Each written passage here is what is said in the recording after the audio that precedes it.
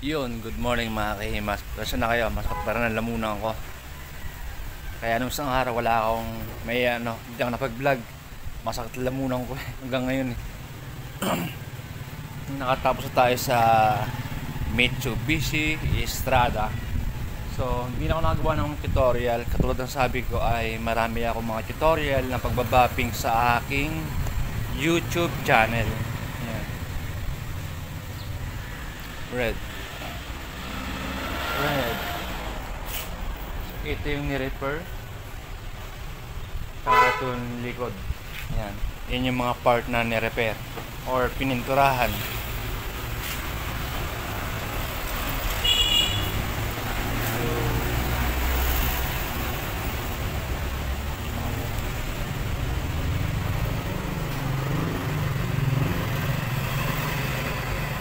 Haba ng bigote niya, oh. Parang bigote ko rin.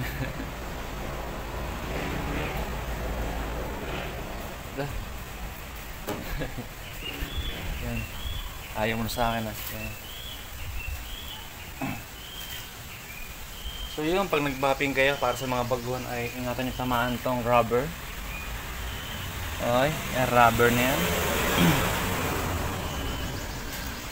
At itong mga plastic. Ayan yan. Moldings na mga handle. Okay? Magsagawa kayo ng pag-tape. Ayan, mga rubber. Para hindi para hindi kayo makasira ng mga panel. Uh, ng mga rubber. Uh, yan. Moldings at mga plastic. Yan. Pag tinatamaan kasi siya ng ano, ng... Pag tinatamaan kasi siya ng mga ano, ng wool pad at ng foam pad ay nasisira. Kasi syempre, ang umiikot yun, umiikot at nagiinit. Ganoon din sa pag ano, sa pagbabapping ng pintura ng sasakyan ay huwag niya itutulak yung bapping machine. Huwag niya itutulak at huwag yung paikot kasi umiikot na yung mapping. Then, kung bago ka dito, pakibisit mo yung aking mga video dyan. Marami ako dyan mga tutorial ng pagbabapping para hindi ka makaupod ng pintura ng sasakyan. At ganoon din syempre sa pagliliha. Maging maingat. Yan. So, okay na. So mamaya ay lilinisin ko na lang itong mga ano, yung mga naiwan ng mga rubbing compound liquid. Yan sa mga sulok-sulok. Then sa loob ng mga pintuan, ay, sarado. Yan sa loob niyan. Then yan. Kahit po kasi may tape, uh, meron pa rin yan pumapasok ng mga liquid ng mga rubbing compound gamit ko kasi glaze lang. Ang ginamit ko rito ano lang uh, glaze. So ano yung una kong ginawa? Syempre hinugasan ko lang ng body. Ang um, katulad ng sabi ko sa mga katulad ng sabi ko ng mga nung mga nakarang araw, yan para sa mga baguhan. Ah, uh, ginawa ko rito ay ano lamang ang uh, hinugasan ko lang itong body painted bago lang tanggal ng asfalto Then, after magtanggal ng asfalto, ay nagliha ako ng number 3,000. Pero kaya na siya ng ano na mirror glaze ng Migwars. Kaya na siya. Then after nun, in-applyan ko siya ng APC wax with bapping foam pad. Meron naman po akong procedure nun pag-apply ng glaze at pag-apply ng bapping wax. Andiyan po sa ano, uh, anong masasakyan ang uh, Nissan uh, Hyundai Ray na puyat na kulay black. Meron po ako dyan. Hindi po ito yung mga tinatawag ng mga 3-step exterior detailing. At syempre sa ano ko uh, exterior bapping uh, kasama rin to. Pero yung engine wash hindi kasama. At yung acid rain at yung mga pagkakaruwas ng ilalim yan hindi kasama. So bali yun lang yung kontrata namin ng may-ari. Siyempre ano, ang magkaiba rin yung bayad. Kumbaga mas mababa mas mababa mas mababa yung bayad neto. Yan. Pagsama rin tong chrome. Yan. Sama rin yung paglilinis. So mamaya may kulang pa ako eh. And eto pa pala. Yan. Yung dark chrome, hindi ko pa nalilinis. So ano po yan, ang dark chrome. Ito po yung light chrome. Ito ay dark chrome. So kailangan ko siya linisin. Ah, meron kasi siya mga acid rain. Yan. meron siya mga water spot or deposit. So gagamitan ko na lang yun ng ano ng chemical na pang acid rain. Pero maingat ako. Ah, hindi ko siya binababad. Hindi ko siya binababad dahil po siya nakasira ng mga chrome pag nakababad. Kaya maging maingat. Yan, siyempre kasama na itong headlight at yung taillight sa pagbabapping. Yun nandun. Then, yung mga visor, kasama rin yan. Pagbabapping. So, yun, after ko siya linisin yung mga chrome, then yung lahat ng mga gilid, kinakailangan naman siya ipakarwash para matanggal yung mga rubber compound powder. Ayan. Na kumapit sa mga rubber. Ayan.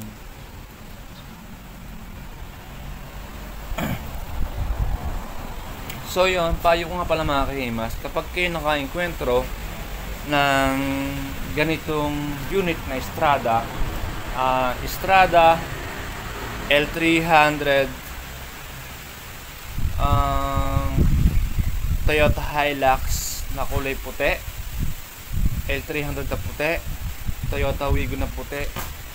Yan yung mga mabilis maupod na kulay kaya maging maingat. Ito kasi ah, Mitsubishi Strada straight color. Mabilis siyang maupod. Ah, hindi ito yung unang pagkakataon ko na nakapag-bopping ng ganitong kulay pula. Kaya alam ko ng paano yung diskarte, paano yung pagbabopping para di makaupod ng mga straight color ko na, na, na mga tinatawag. Yan, para mga baguhan. Ang sarado.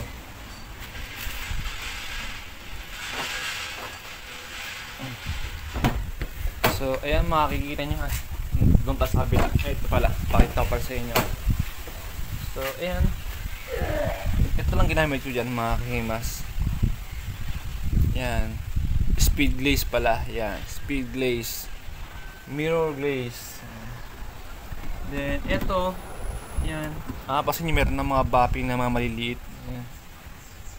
Yan. Naka-convert yung sa bopping. Binili ko sa binili ko lang sa Lazada yung ano niya, ah, extension. Yan, meron yung sa Lazada bopping extension, mini bopping. Eh, yung sa likod, sa kabila. Yung small bopping yung mga kemas ay ginamit ko yun dito sa mga part na hindi abot ng malaking wool pad. Yan, upload yan. At dito sa sulok. Yan. Ito. Yan. Loob niyan. Doon ko ginamit yan. Yan. Kasi hindi kasi papasok tong ano ko, yung 7 inches wool pad. Hindi papasok. Kaya gumamit ako ng, ng small bopping. Ito, hindi papasok. Yan. Kaya kung mapapansin nyo, iba ang kulay niya, kulay pula. Yan. Sumasama kasi yung kulay nito. Nitong Mitsubishi Estrada. Na tinatawag ng mga straight color.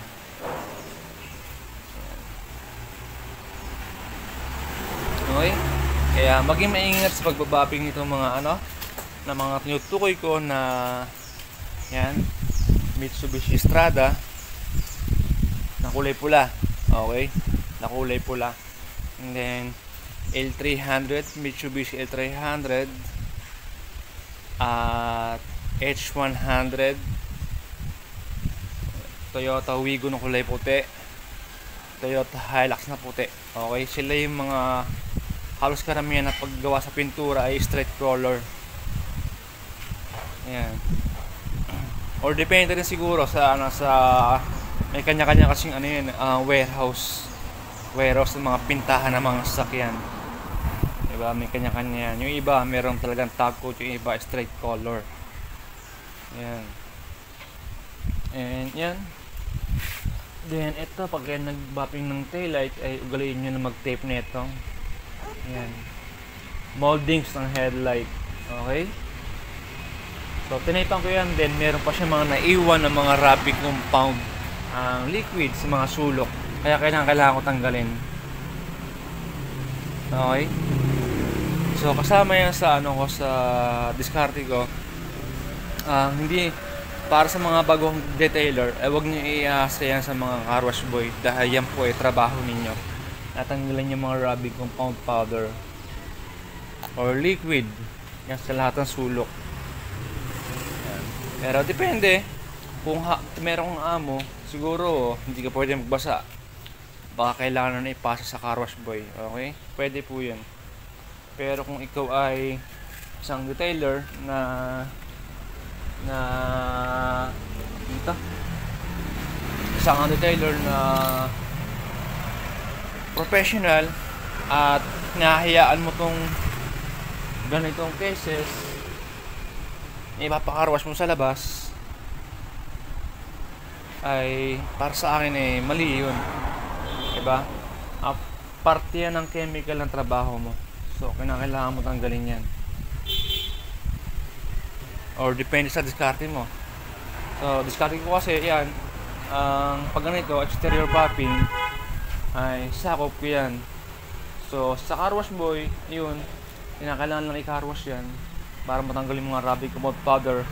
Pero sa detailing 3 step exterior detailing ay sakop ko na yan. So tulad niyan hindi ako pwede magbasa ng kamay. Kinakailangan ko tanggalin to. Yan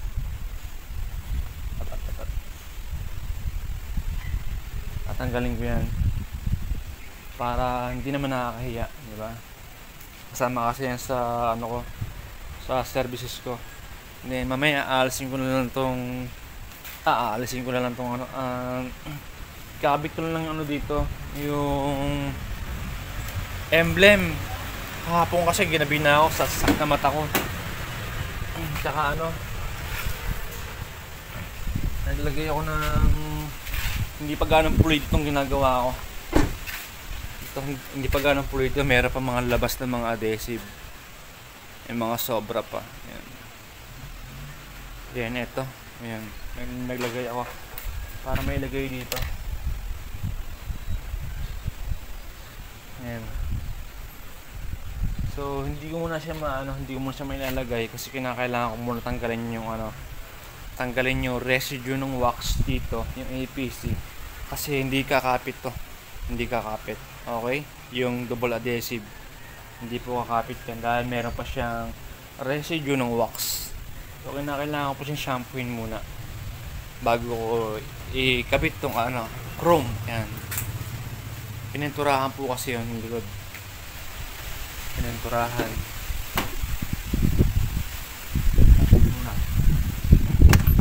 Yan yung tayo ko sa inyo uh, pagbabapping ng tawag nga ba rito? Visor ay maging maingat kayo dahil ito'y marupok. Ang hindi ito nakabili ng isa. So nakabasag na ako nito nabaguhan ako. Nakabasag na ano kasi yan ang marupok. Marupok na material. Kaya maging maingat sa pagbapping ng visor. Okay bapping. Ayan. kita nyo naman ang dungis. So hindi, hindi ko nakasakop yan eh sinabi kasing 3 step extra detailing kasama sa akin yan. Yan paglililing sa mga ilalim. Engine wash um, acid drain sa mga salamin engine wash pati itong low ayan kasama yan sa akin. Vacuum dashboard cleaning flooring um, seat seat vacuum ng mga bangkuan and armor yung mga sidings lahat ng plastic armor yan so sa ngayon I think ito lamang yung mga tinatawag ng mga exterior bopping lang. Baga, labas lang. Labas lang, yun, yun lang yung usapan namin. Okay? Yan. Tapos yun nga pala, ah, kay Sir Tom Banik, yan. Ang ilang beses ko nakikita yung ano mo, yung message mo. Ang problema, pag, pag ino-open ko yung message notification ng aking YouTube channel, hindi ko na makita hindi ko na makita or mabasa yung message mo. So nag-a-appear lang sa ano ko. Lumalabas lang dito sa, sa ano ko sa, sa, sa may cellphone ko. Hindi ko lang mabasa kung ano yun. Ah, kaya ang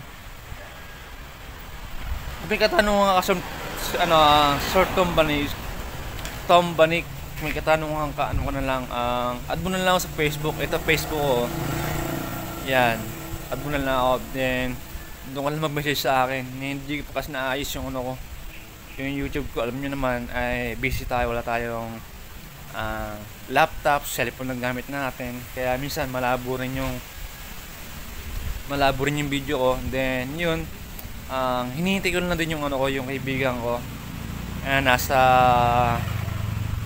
ah, seaman siya, eh. ano siya, ah, paikot-ikot lang. Um, Pong, ingat ka dyan, Pong, ingat ka dyan. Ingat, ingat, ingat lagi sa biyahe. Yan, ingat. Ang ganda naman, ang ganda naman napupuntahan mong bansa. Grabe. Yan. So, yan, shoutout kay Pong Pong, ingat ka dyan. Yan, so hinihintay ko na lang kasi yung ang GoPro kay Pong Pong. Yan. So, pinag-ipunan ko yun. Ano lang, ano, ano lang yan sa kanya, ah, na-request nung bago, nung, bago siya sumakay, ang na-request ko lang sa kanya ay yun lang, GoPro 5 lang. Para naman gumanda-ganda man lang yung vlog ko. Yan, yung kuha ng mga video ko. So, cellphone lang gamit ko. May hina yun. Magaslaw pa. Yun, di ba? Tsaka yung GoPro kasi kaya yun, yun ang na-request ko sa kanya. Yung kaya ko lang. Para if in case na pumunta ako ng Bicol and pwede ako mag ano sana pwede ako sumama sa mga tiyuhin ko na yun ah pagbablog, catching cook sa mga dagat.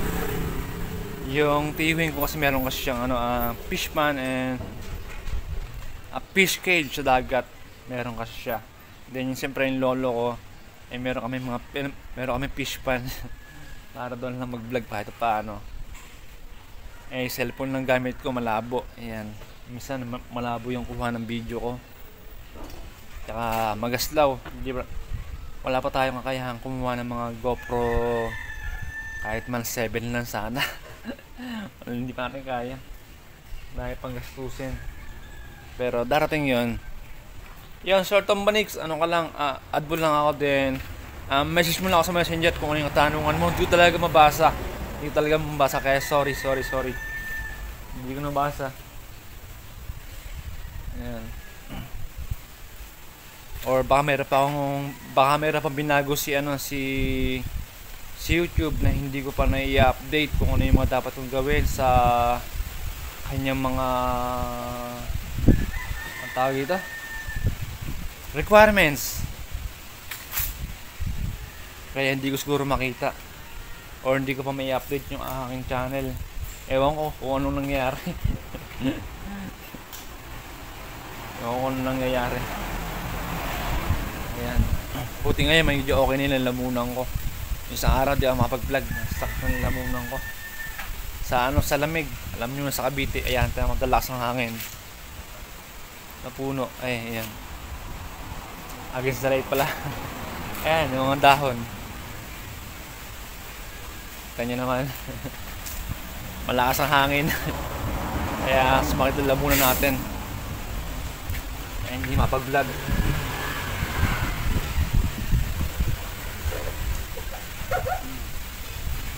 So yung mga kayo, mas magkakabit muna ako ng ano, ng emblem. Then yung in-order ito na ilaw, hindi ko alam kung palang darating. In-order sa tropa, hindi ko alam kung palang darating. So ayun, at mabot na nga kayo hanggang sa kaduluduluhan ng aking mga pagkasabi, ang mga tutorial. So katulad sabi ko, sa mga kailangan ng mga tutorial ng pagbabapping ay acid removal, emblem cleaning or mga chrome, pagbabapping ng headlight, tail light, pagbabapping ng body painted, yan, paglilinis sa mga ilalim, engine wash. Okay, visit my YouTube channel. Marami, marami po ako dyan mga tutorial kung paano yung mga procedure. So, yun. At kung bago ka sa channel ko, paki-like, subscribe, and hit the notification bell button para updated ka sa mga bagong uploads video ko. Tapos nung isang araw ay may nakita akong ano, um, nagdidilig ako ng ano, may, mahilig kasi ako magtanim ng ano eh. Mahilig kasi ako magtanim ng ano ng mga sili. Sili yan, luya. Ito may papaya. May papaya nga ako tanim dito eh. Yung, yung isang papaya, ah, ang pinatay ko. Yan. Dal tatlo yan, meron parang isa. Kasi pinatay ko gawa ng ano, babagsak, tatama ito sa wire. Hindi ko makita yung cobra. Ayan. Ito.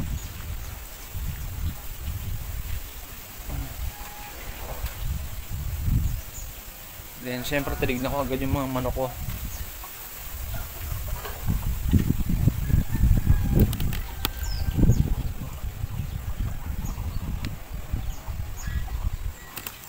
So, puro Tagalog lang, mga pangkatay. Hindi naman kasi tayo hindi naman kasi tayo sugalero kaya puro pangkatay lang hindi, hindi ako may kasugal ano ako um, business minded yan so yung kita kiss for the, for the next upload. Thank you for watching. Keep safe and God bless. At happy new year sa inyo. Peace! Bye